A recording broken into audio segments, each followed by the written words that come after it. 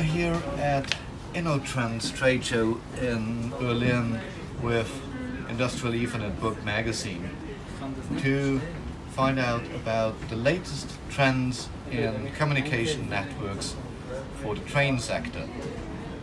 We talked to a number of experts here at the show to learn what the hot trends are, what are the upcoming technologies to expect in the future of mobility.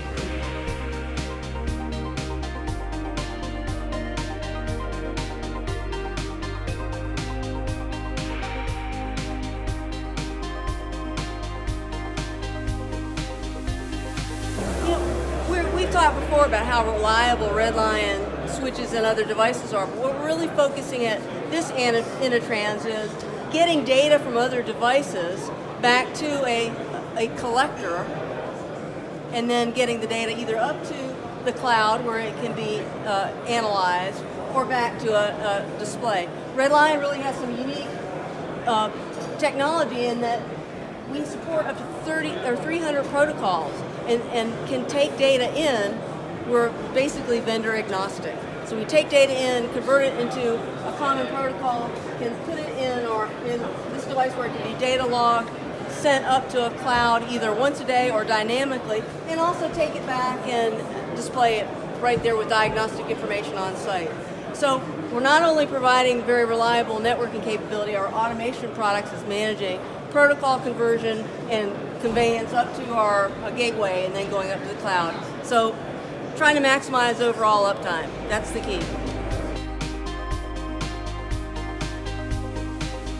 We see that uh, there is more and more demand for uh, more bandwidth within uh, the train communication network because we see that there is uh, more and more data that needs to be transferred within the train to the head unit and for that you need for sure the connectivity towards the train backbone but also the possibility to transfer all data over the track, uh, train backbone to the different uh, locations where they are stored or consumed. And uh, we, uh, from Moxa side, are following the trend uh, by introducing some new products which have uh, the uh, 10 gigabit uh, train backbone implemented, but also we offering specifically for trains where you have not too much space. Actually left this new product here which allows you to connect even one gigabit end devices like cameras like uh, displays in order to have that uh, sufficiently transferred and then also stored uh, in the trains.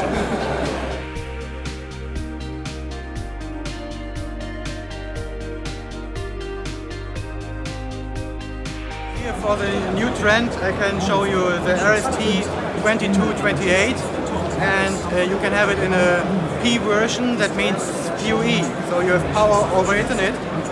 This is a device you have modulars with copper fiber optic SFP module and also in full PoE. So that allowed you can connect cameras uh, with PoE or measurement uh, equipment, what you want, completely here with 200 uh, watts.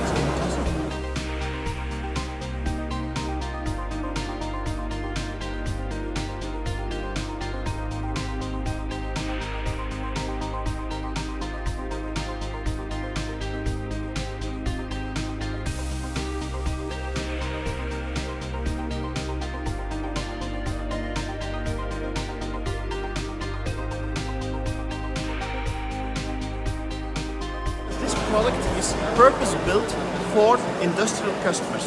We believe that industrial customers deserve their dedicated equipment. First of all, it's about the hardware.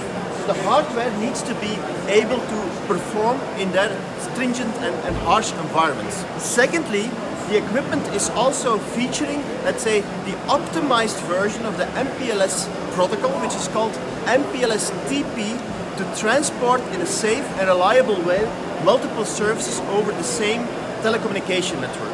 So we have done that in a way that it's very easy to manage. So people who are currently managing operational uh, environments, operational applications, they can also manage our equipment in a very easy way thanks to a very intuitive and simply implemented uh, network management system. It gives you a visual representation of the network and it gives you also very logical wizards to configure services, to configure tunnels and to basically manage the whole network at, at their fingertips.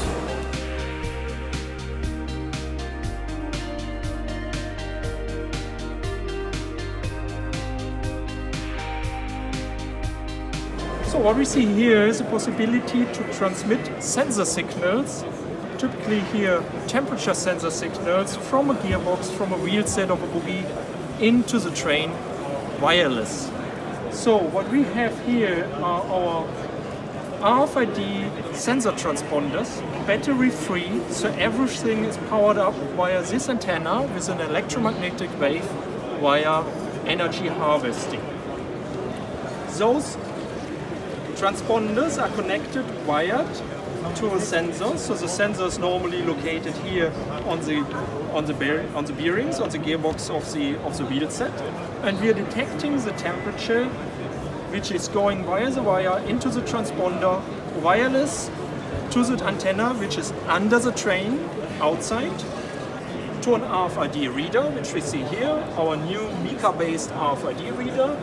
Inside this reader all the signals are translated into an Ethernet signal and can be transmitted, multiple signals, to Ethernet based to the control system or maybe with an uplink to, to the cloud.